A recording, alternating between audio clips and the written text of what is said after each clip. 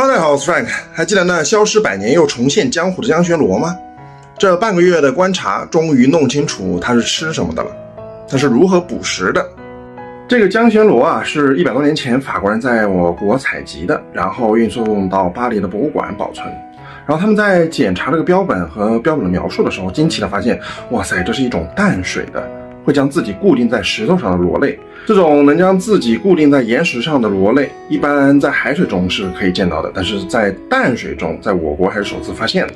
然后，其实这块标本上有两种螺，一种大的是中华江玄螺，而另外一种小的就是这次我拿到缸里饲养的这种，这种还没有定名，正在定种中，论文正在写。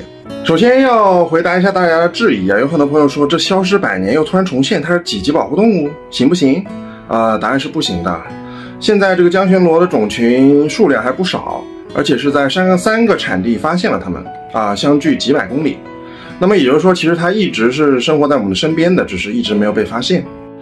我认为江玄螺这个神奇的螺类是需要被大家关注起来的，因为虽然说在三个产地都找到它们的身影，但是它们生活的范围还是相对于狭窄的。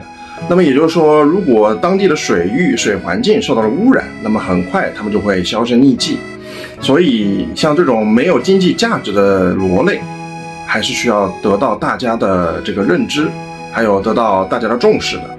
中华江巡螺的活体依旧没有现身，但是我仍旧相信它存在我们的江河里面。有朋友说钓鱼曾经钓到过石头上有这种螺的，那么下次以后你们钓到这种疑似江玄螺的螺，可以拍图发给我看。如果真的是中华江玄螺的话，那就太好了。